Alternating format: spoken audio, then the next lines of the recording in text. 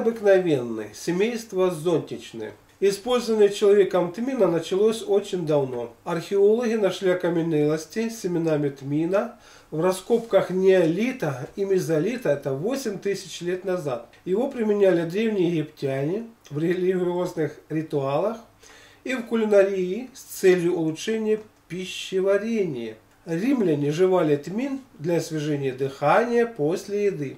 Широко использовали и продолжают использовать в индийской кулинарии. В Европу тмин попал в начале IX века. Возделывался не только как пищевой продукт, но и для медицинских целей.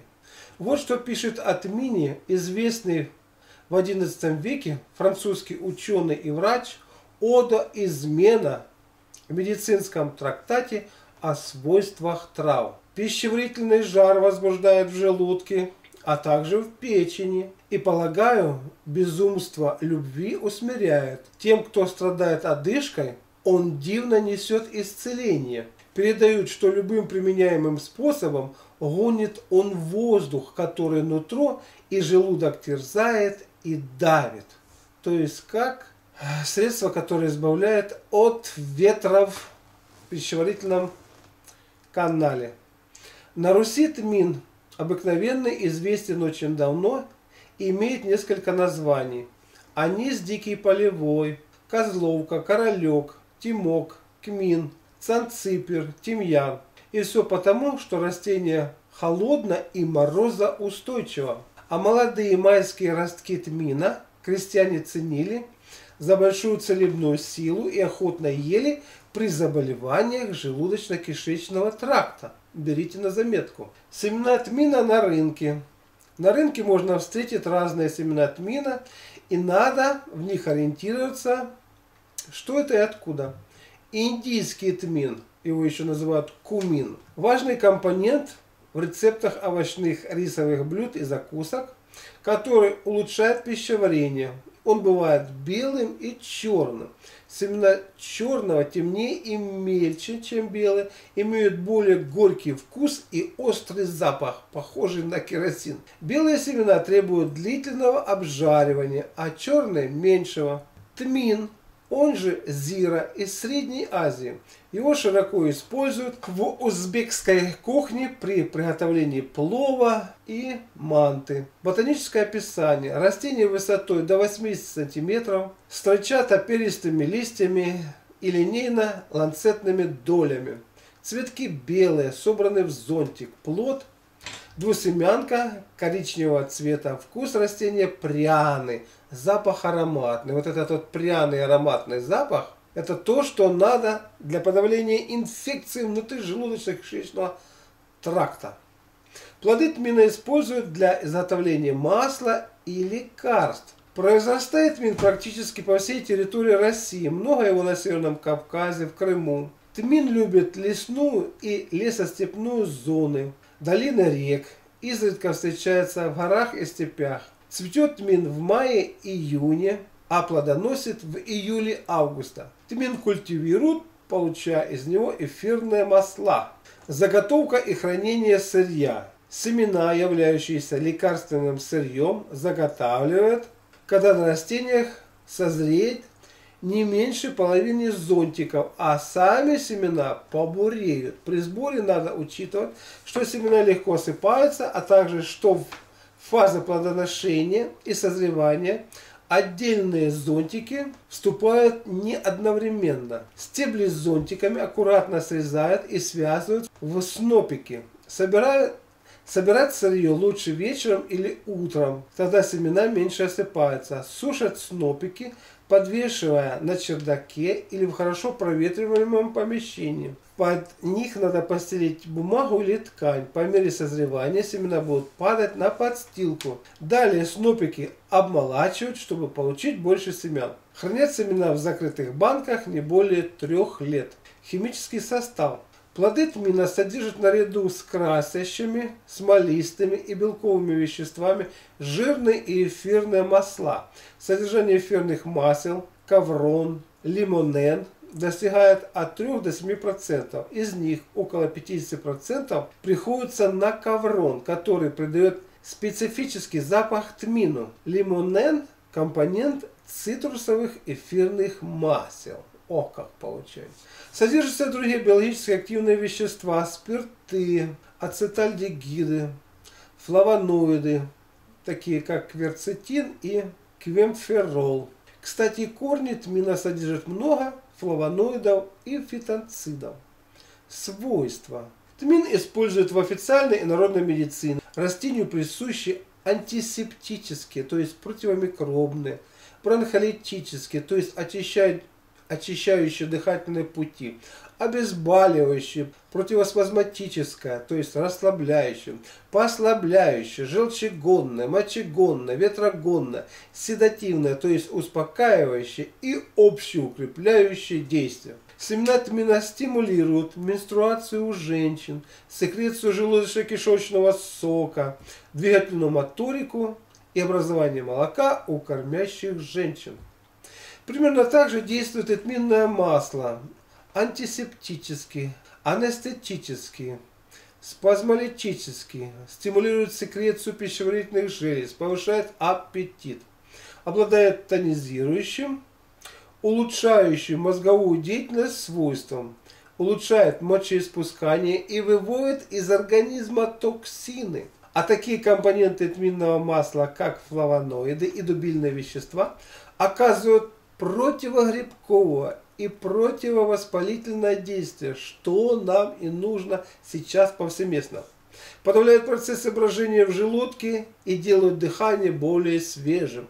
Обладают отхаркивающим свойством. Его используют как внутрь, так и наружно. Наружно с ним применяют ванны, делают массаж при бронхитах, суставных болях, проблемах с мочевыводящими путями, лечат от накожных паразитов.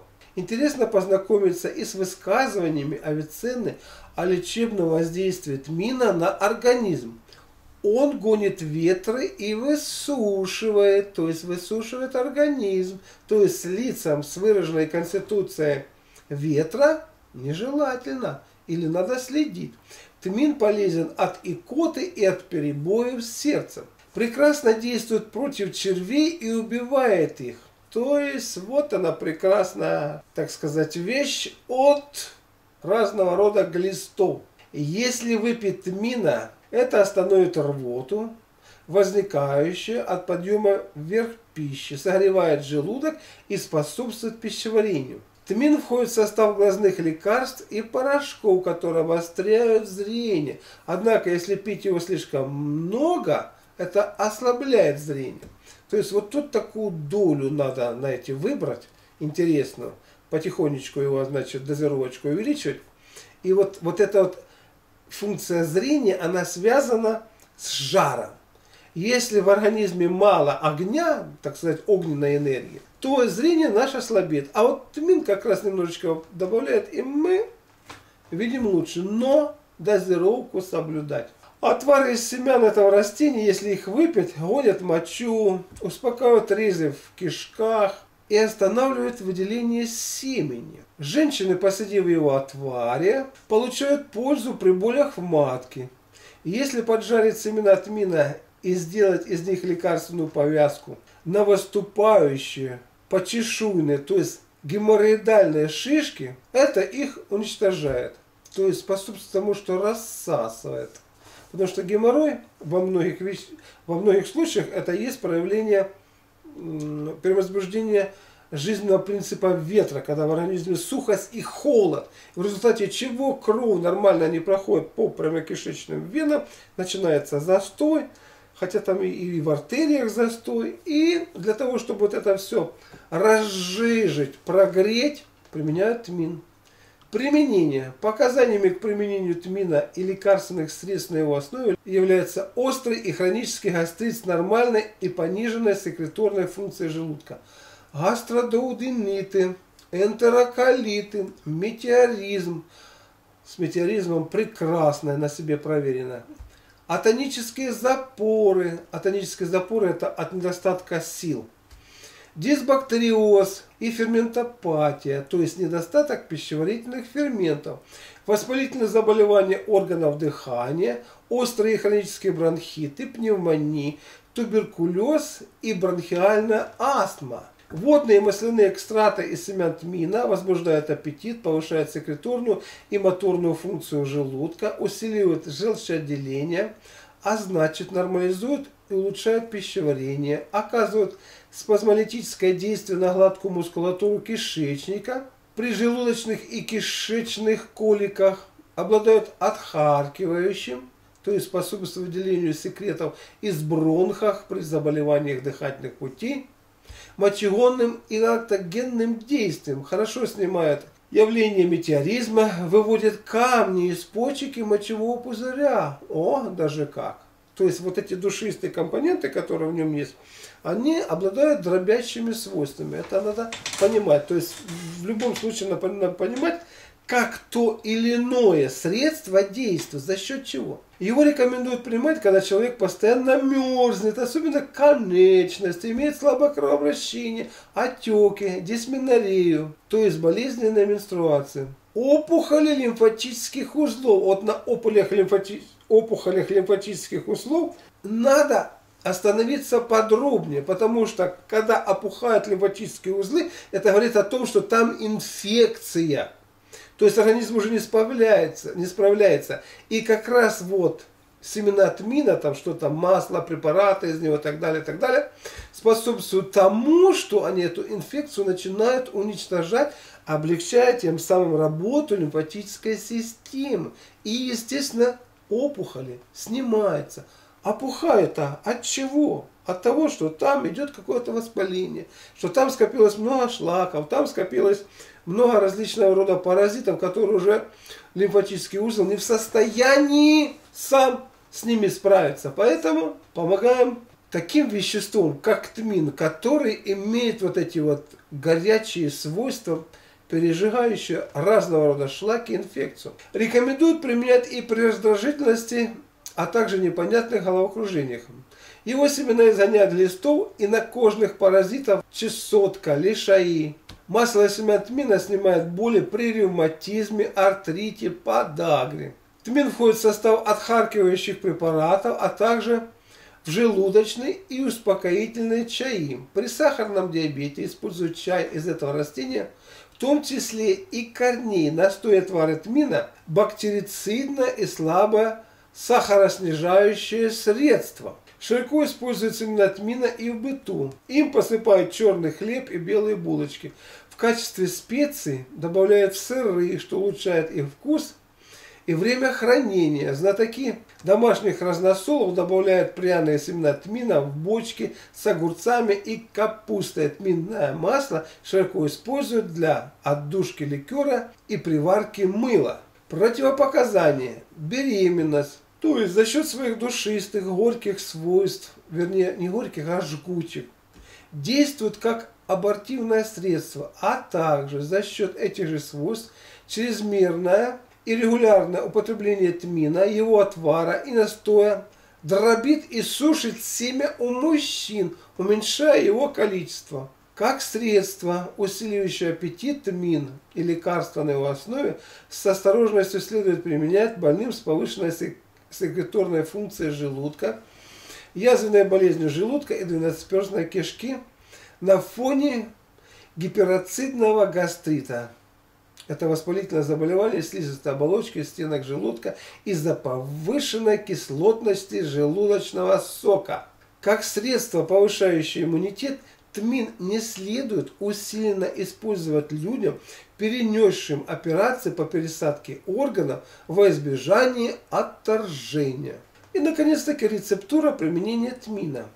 В лечебных целях тмин используют в виде настоев, отваров, масляных вытяжек, масла, в виде семян, а также в пищу. Я использую в виде семян, просто проглатывая. Столовую ложку семян тмина заливают стаканом кипятка в термосе со стеклянной колбой, настаивают ночь, принимают по 2-3 столовых ложки 3-4 раза в день за 15 минут до еды.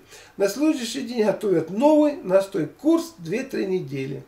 Водную настойку семян тмина можно применять при атонических запорах, спастических болях в желудке и кишечнике, при холецистите, как ветрогонное средство. Например, младенцам, когда они плачут и трут ножку об ножку, то есть молотят животик. Его можно использовать как средство, возбуждающее аппетит, принимая за час до еды, а также полоскать рот 4-6 раз в день при дурном запахе изо рта. При дурном запахе из половых органов настой семян тмина применяют для наружного обмывания и спринцевания. Кстати, э, вот если вы желаете более мощную экстракцию, то перед закладкой семян тмина в термос перемелите их на кофемолке. Если настой делать не в термосе, то эфирные масла улетучатся и лечебное воздействие понизится, чтобы вы знали. Отвар. Прием водного отвара из семян тмина укрепляет внутренние органы, успокаивает резь в желудке, гонит мочу, убивает солитюра и других глистов, предотвращает рвоту, полезен при бронхиальной астме, сердцебиении, вызывает аппетит. Когда у человека пропадает аппетит, это говорит о том, что у него понижается потенциал жизненной силы. Когда аппетит повышается, это говорит о том, что жизненный потенциал его возрастает. Полезен он и от болезни нервов, при шиасе, от паралича и при разрыве мышц. Местно отвар плодов тмина используют для лечения ран, влажных форм экземы. Отвар из семян тмина – 3 чайные ложки измельченных плодов, заливают стаканом кипятка, кипятят в течение 15 минут, закрывают и оставляют на 10 минут и затем процеживают. Это суточная доза. Столовую ложку семян помещают в эмалированную посуду, заливают двумя стаканами кипятка, кипятят 5-7 минут, принимают по половине стакана 3-4 раза в день за час до еды. Отвар семян тмина можно использовать для усиления отделения молока у кормящих женщин, как отхаркивающее и бронхо расширяющее средство при острых и хронических бронхитах, пневмониях, туберкулезе и бронхиальной астме, а также как ветрогонное средство.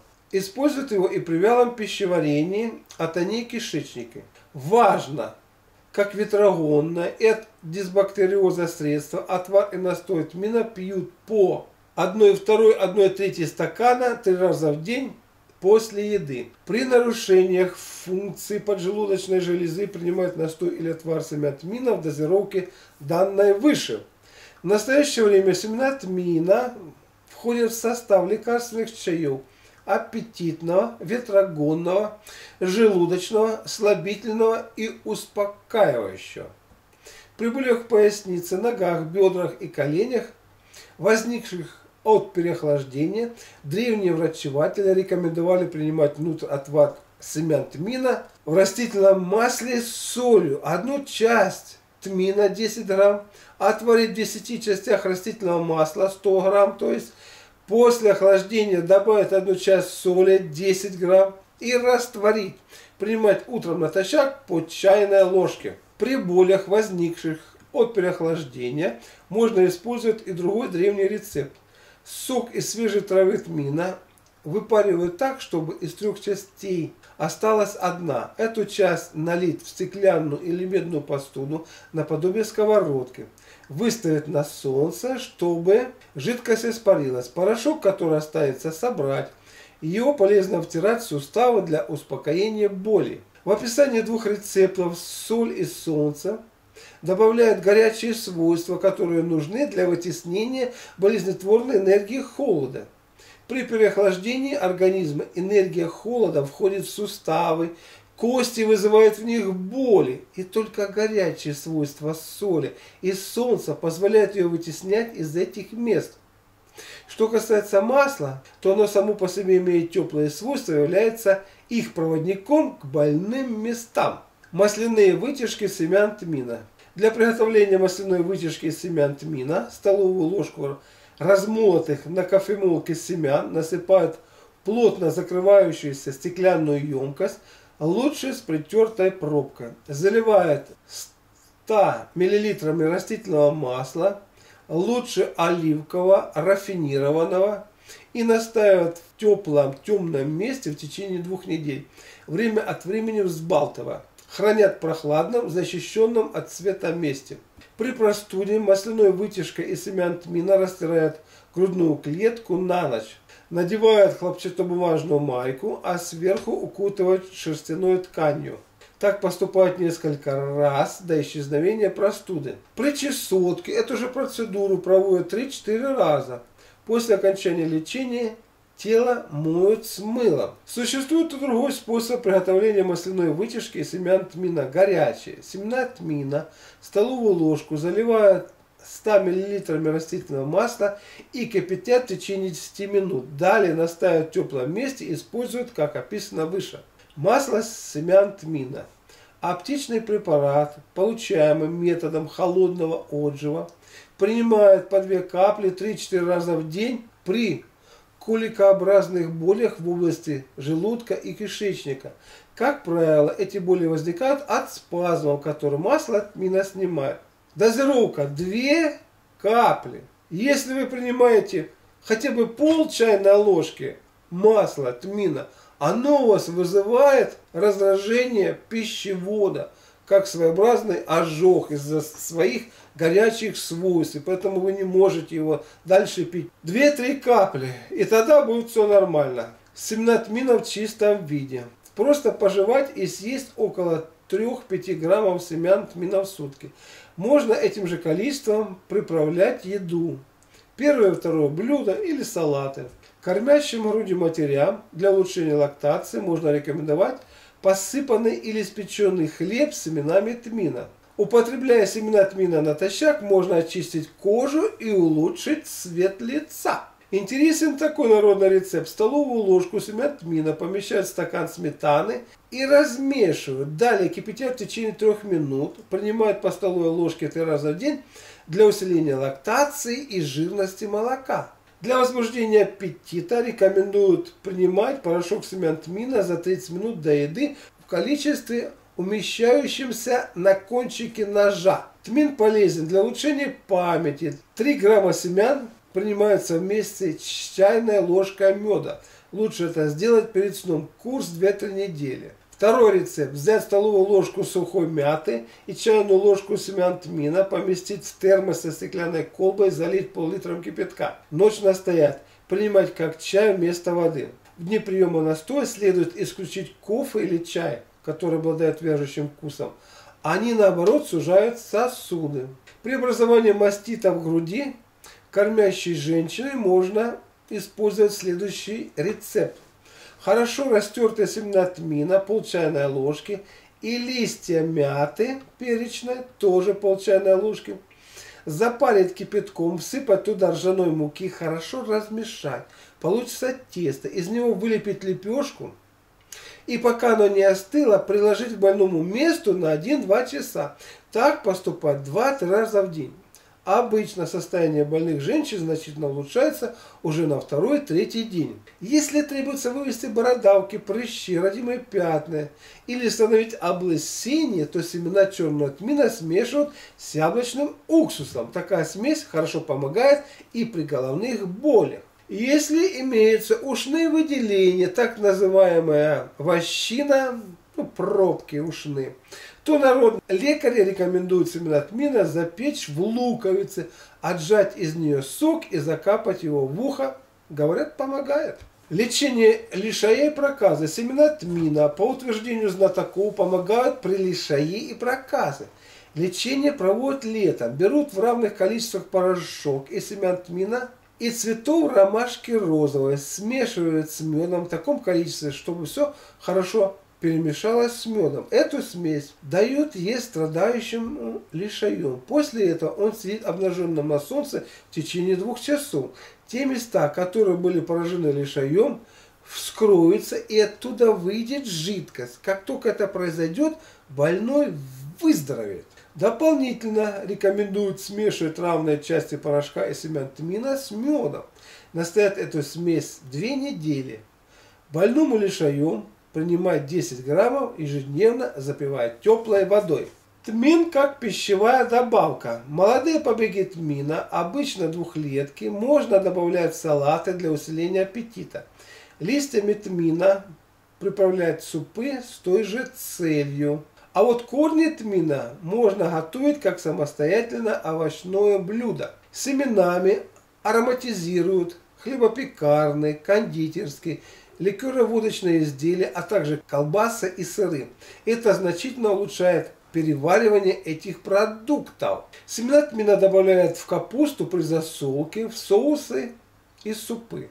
Это улучшает не только вкус продукта, но и укрепляет пищеварительную систему, подавляет дисбактериоз и газообразование в кишечнике, которое имеется где-то у процентов 95 населения, либо периодически возникает. Тмин входит в рецепты приготовления рыбных блюд и блюд из морепродуктов. Это прекрасная профилактика от заражения паразитами через эти продукты, плюс усиление пищеварительных способностей. Благодарю за просмотр.